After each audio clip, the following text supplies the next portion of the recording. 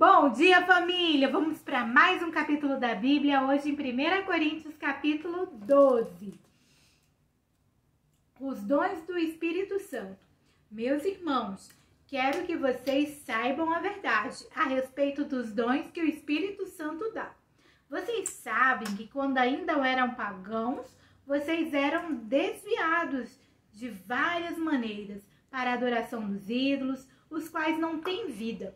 Por isso precisam compreender que ninguém que diz que Jesus seja maldito pode estar falando pelo poder do Espírito de Deus.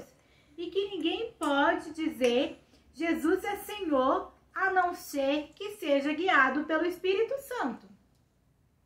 Existem tipos diferentes de dons espirituais, mas é um só e o mesmo Espírito quem dá esses dons. Existem maneiras diferentes de servir, mas o Senhor que o Senhor que servimos é o mesmo. Há diferentes habilidades para realizar o trabalho, mas é o mesmo Deus quem dá a cada um a habilidade para fazê-lo. Para o bem de todos, Deus dá a cada um alguma prova da presença do Espírito Santo. Para uma pessoa, o Espírito dá a mensagem de sabedoria, e para outra, o mesmo Espírito dá a mensagem de conhecimento. Para uma pessoa, o mesmo Espírito dá fé e para outra dá o poder de curar. Uma pessoa recebe do Espírito, uma pessoa recebe do Espírito poder para fazer milagres e outra recebe o dom de anunciar a mensagem de Deus.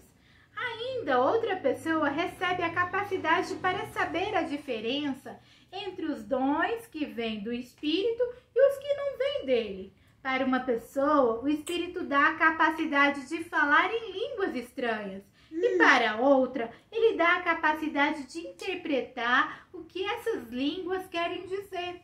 Porém, é um só e o mesmo Espírito quem faz tudo isso. Ele dá um dom diferente para cada pessoa, conforme ele quer. Cristo é, é qual tem muitas partes. E todas as partes, mesmo sendo muitas, formam um só corpo. Assim também, todos nós, judeus e não judeus, escravos e livres, somos batizados pelo mesmo Espírito para formar um só corpo. E todos nós e a todos nós foi dado de beber do mesmo Espírito. Pois o não é feito de uma só parte, mas de muitas. Se o pé disser, já que não sou, não sou mão, não sou do corpo, nem posso, nem por isso deixa de ser do corpo. Se o ouvido disser, já que não sou o olho, não sou do corpo, nem por isso deixa de ser do corpo. Se o corpo todo fosse o olho, como poderíamos ouvir? Se o corpo todo fosse ouvido, poderíamos cheirar?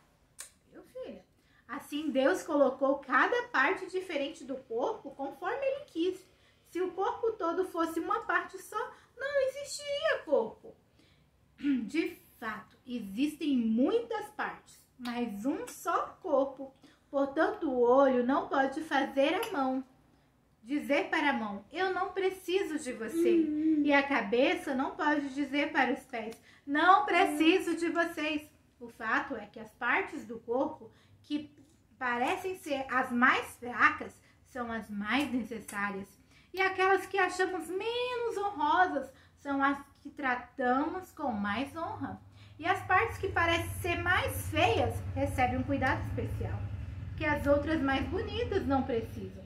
Foi assim, foi assim que Deus fez com o corpo, dando mais honra às partes menos honradas. De, desse modo, não existe divisão no corpo, mas todas as suas partes têm o mesmo interesse umas pelas outras. Se uma parte do corpo sofre, todas as outras sofrem com ela. Se uma é elogiada, todas as outras se alegram com ela.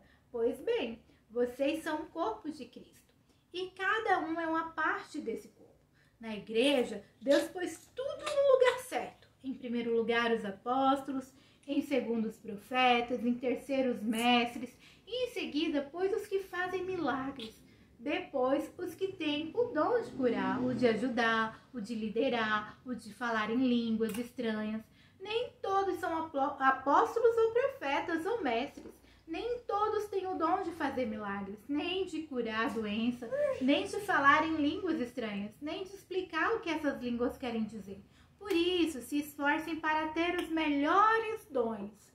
Porém, eu vou mostrar a vocês o caminho que é melhor de todos. Viu, filha? Filha amada, filha amada? Amém!